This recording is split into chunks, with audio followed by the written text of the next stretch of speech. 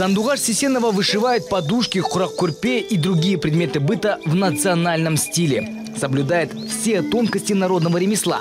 Приехала из Ахтау на Курпе Фест, чтобы повысить свою квалификацию. Рассказывает, что именно этнодизайнер, организатор фестиваля Арза Турсунзада изменила ее судьбу. Многодетная мать долго не могла найти работу. Изучив лоскутное шитье, открыла собственное дело. В 2016 году лоскутному шитью я обучилась у Ирзы Турсунзада. Со временем мое хобби начало мне приносить прибыль. В тот же год я выиграла грант в размере полумиллиона тенге и закупила все самое необходимое. И свои изделия продаю через соцсети.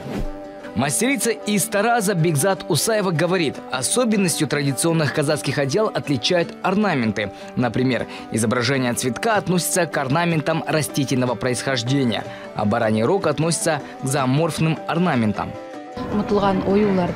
Я хочу возродить забытые орнаменты. Знаете, одеяло в национальном стиле пользуются огромной популярностью. Я в прошлом году выиграла грант в размере 5 миллионов тенге и запустила собственное производство. Это говорит о том, насколько востребовано сейчас лоскутное шитье. Такие мероприятия очень нужны. Мы знакомимся, обмениваемся опытом, делимся клиентами и помогаем друг другу. Анар Бексултанова ежедневно доказывает, что для настоящего таланта границ не существует. Курак-курпе женщина шьет при помощи ног.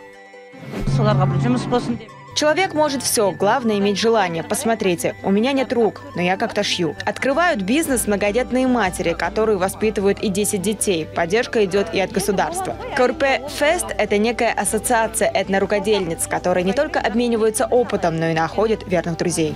Уникальный фестиваль, где от ярких красок и обилия узоров рябит в глазах, проходит в казахстанской столице не первый раз. В этот раз он собрал больше ста рукодельниц со всех регионов страны.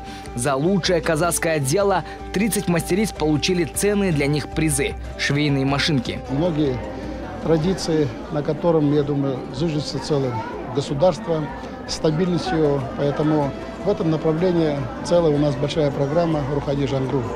Вот, в рамках него целая расписана большая программа. Вот сегодняшнее вот, э, мероприятие, которое проходит, является частью всей той программы, которая сегодня ведется.